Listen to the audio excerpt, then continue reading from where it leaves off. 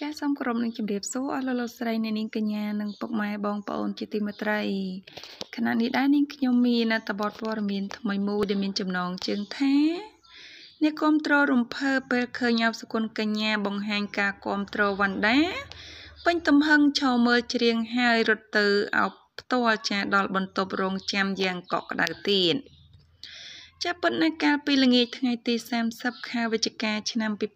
2022ជាកម្មវិធីកីឡាជាតិលើកទី3បានបិទបញ្ចប់ជាស្ថាពរដោយមានការចូលរួម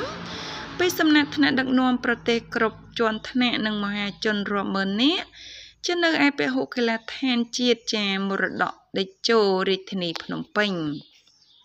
ចាយ៉ាងណាមិញនាល្ងាចនោះចាក៏មានការចូលរួមសម្ដែងនឹងបង្ហាញ ពីទស្សនីយភាពសិល្បៈសង្គ្រប់ទម្រង់ពីសិល្បករប្រចាំប្រទេសកម្ពុជាចាជាច្រើនរូបផងដែរជាបន្ទាប់ពីការសម្ដែងទស្សនីយភាពចាចប់សពគ្រប់អស់ហើយចាវីដេអូជាច្រើនត្រូវបានចែកចាយចាពីពេញបណ្ដាញសង្គមចាទាំង Facebook និង TikTok រាល់សកម្មភាព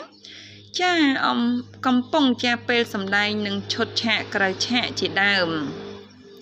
ចាអ្វីដែលគួរឲ្យចាប់អារម្មណ៍ទៅទៀតនោះចាគេសង្កេតឃើញមានវីដេអូចាក្រោយឆាកមួយជាដើកំពូលតារាចម្រៀងស្រីអបសុគន្ធកញ្ញានិងសិល្បករផ្សេងទៀតជាបានឈរគាំទ្រលោកវណ្ណដាកំពុងសម្ដែងទស្សនីយចាភាពចាយ៉ាងរំភើបចារីករាយចានឹងមោទនភាពជាទីបំផុត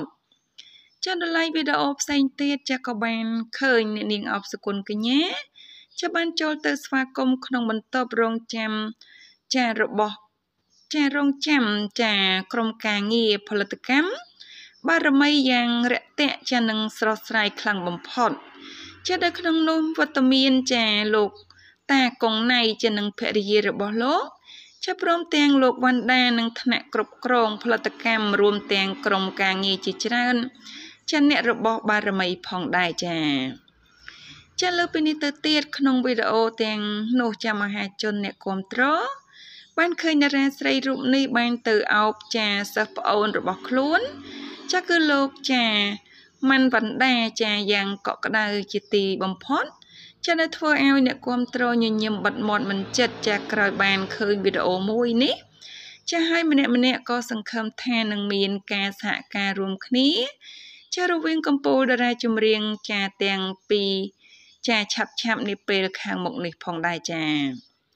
ចាតបខ្លឹមសារព័ត៌មានខ្លីដែលនាងខ្ញុំបានជម្រាបជូនសូមបញ្ចប់ត្រឹមនឹងចាសូមអរគុណសូមជម្រាបលា